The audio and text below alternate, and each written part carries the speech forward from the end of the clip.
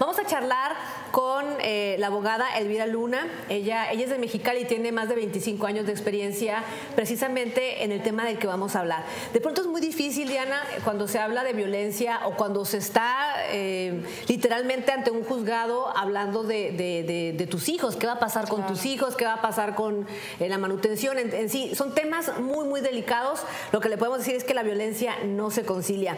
Elvira, ¿cómo está? Muy buenos días. Hola, buen día, muy contenta de estar con ustedes, Diana y Ada. Gracias por tocar estos temas tan importantes que parecieran de repente trillados, pero en el cual desafortunadamente aún hay mucha desinformación. Así que muchas gracias. Pues platíquenos un poquito, eh, digo, lamentablemente vivimos en un país donde la violencia está a la orden del día y quisiéramos tener a lo mejor algún progreso, pero de repente nos vamos para atrás. ¿Qué está pasando con esto?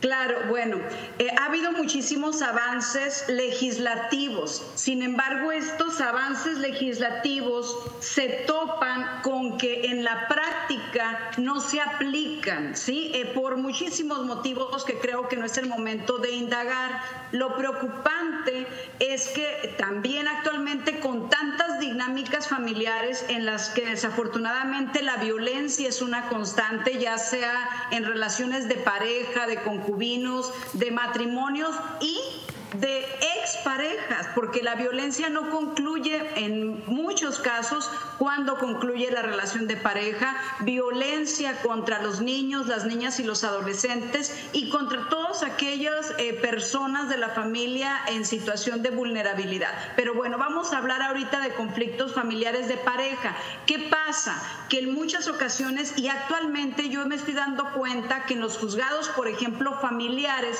se está remitiendo a, a que hagan convenios las personas en el CEJA Qué bueno que así sea. Yo soy una abogada pro convenio. Sin embargo, aquí tenemos una limitante y creo que aquí los jueces están dejando de ver este aspecto tan importante, que es que cuando haya violencia y en muchos de los casos de divorcios, de custodias, de régimen de convivencia en juzgados, hay violencia, los envían a conciliación. Y esto no debe de ser incluso por ley. Hablando, hablando de esto, eh, Elvira, de, pronto a lo mejor si alguien nos está viendo en casita y a lo mejor desgraciadamente está en este proceso, como que nos meten en la cabeza que para todo es mejor la conciliación, ¿cierto? Como que lo tenemos en la mente. ¿Cuál sería su consejo con estos años de experiencia si alguien está viviendo o le están proponiendo una conciliación?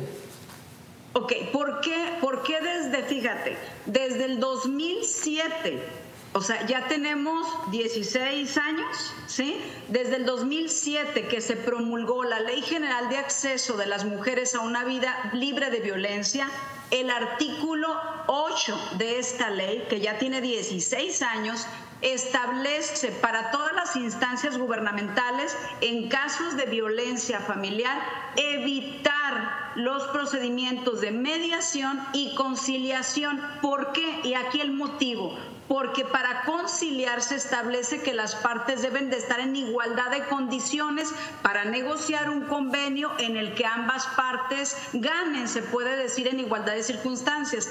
En casos de, violencia, una de las partes, que en, mayor, en el mayor de los casos son las mujeres, las madres incluso, están ante un sometimiento en contra de su agresor. ¿Y qué pasa cuando una persona está sometida a su agresor? Pues obviamente no va aceptar o va a aceptar, perdón, va a aceptar un convenio que no le conviene porque no va a tener siquiera la claridad mental para pensar lo que le conviene a ella y a sus hijos. Entonces yo que les recomiendo a las personas que les sugieran en juzgados, en las instancias gubernamentales, que se sometan a procesos de, de mediación y conciliación, que se asesoren adecuadamente, porque muchas veces van sin asesoría con abogados especialistas en la materia para que en su caso, si deciden, porque finalmente es decisión de las personas, si deciden someterse a este tipo de procedimientos, eh, entiendan perfectamente sus condiciones y los términos y los alcances de un posible convenio. Perfecto. Aquí, por ejemplo, ¿qué hay? Ahorita hemos hablado mucho de juzgar desde la perspectiva de género, ¿no? Y muchas veces está quedando de lado y, por ejemplo, en, esto que nos platicaba, eh, buscando una conciliación cuando realmente pues no es viable hacerlo. ¿Qué hay de esta parte? Claro, el, juzgar con perspectiva de género ya es un principio rector en materia de justicia. Hay protocolos que todos los juzgadores y las juzgadoras deben de seguir eh, sin embargo, yo insisto, actualmente, tal vez con este afán de concluir asuntos rápidos, porque hay una cantidad, un volumen muy grande de conflictos familiares que llegan a los juzgados, los están dirigiendo a estos procedimientos de mediación y de conciliación en el que por ese simple hecho se advierte que no se está juzgando con perspectiva de género, porque el juzgar con perspectiva de género no significa únicamente que haya una sentencia o que se emita una sentencia, sino que desde el primer momento que llega una persona que se advierte, que dice que ha sido víctima en su relación de noviazgo, de pareja, de vivir con una persona, de procrear hijos, eh, no se le debe sugerir siquiera se somete a este tipo de procedimientos. Y es muy fácil, ¿por qué? Porque la violencia no se concilia, la violencia se previene en primer lugar y ya que se da, se castiga al responsable, se sanciona al responsable y se repara el daño de la víctima, que por supuesto lo hay.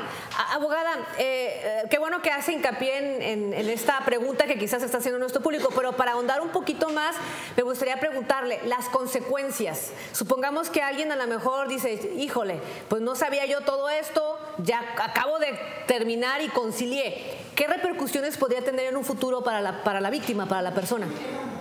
Sí, mira, te voy a poner un ejemplo y te voy a decir las consecuencias. Las consecuencias son que este tipo de convenios se elevan al nivel de una sentencia. Entonces la persona al tiempo sucede, sucede la realidad de los hechos, dice, es que yo no sabía, estaba ofuscada, estaba, le tenía miedo, es la, la frase recurrente, le tenía miedo, le tenía terror a mi expareja, a mi ex esposo, al padre de mis hijos y acepté con tal de que ya esto se terminara. Eh, eh, te voy a poner un ejemplo muy claro e incluso me voy a ir a personas de alto poder económico, porque a veces pensamos que la violencia se da en otros estratos menos favorecidos económicamente hablando.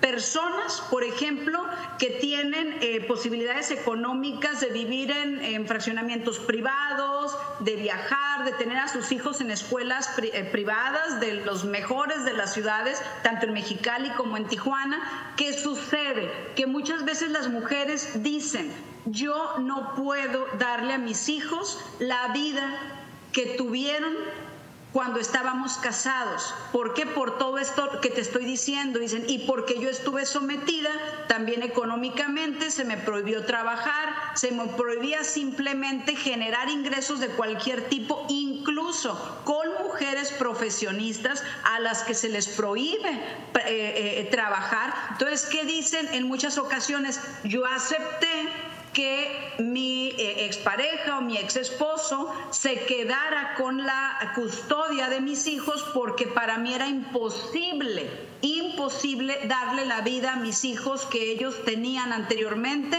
porque yo no tenía el dinero o porque a esos hijos se les chantajea económicamente por el padre y les dicen, te voy a llevar a Europa, te voy a comprar el carro, te voy a mandar de intercambio a una universidad de Europa.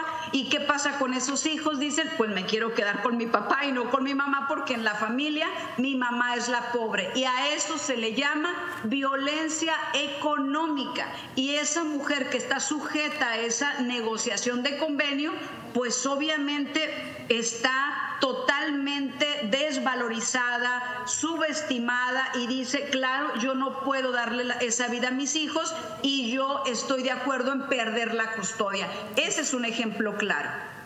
Creo que es, un tema que nos puede dar muchísimo para seguir hablando, si nos lo permite, en otra ocasión que podamos eh, platicar con usted para seguir ahondando más en esto, para informar, porque muchas veces tristemente eh, pues se carece de información eh, certera como ya ahorita no, no la estaba dando.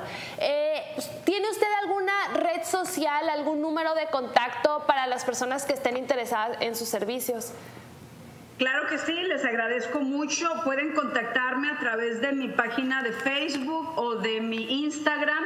En ambos casos estoy como abogada Elvira Luna. Pueden ahí enviarme un mensaje o por WhatsApp, obviamente para efectos únicamente de asesoría, el 686-240-0878. Estamos a las órdenes de las personas que lo necesiten, tanto en Mexicali como en Tijuana. Muchísimas gracias. Pues Elvira, eh, gracias y si nos lo permite, pues seguimos hablando hablando de estos temas. Yo creo que dar esta información así, concisa, rápida, puede ayudar a muchas mujeres a cuestionarse lo que están haciendo, ¿no? Al momento de estar ante un juzgado. Que tenga excelente día, abogada. Gracias. Gracias, buen día. Hasta luego, buenos días. es un tema bien difícil, ¿no? Pero, pero pues qué importante no poder tener la información y saber qué hacer. Por lo menos tomar una decisión con los pros y los contras de lo, que, lo que puede pasar. Vamos a hacer una pausa comercial, quédese con nosotros, ya regresamos.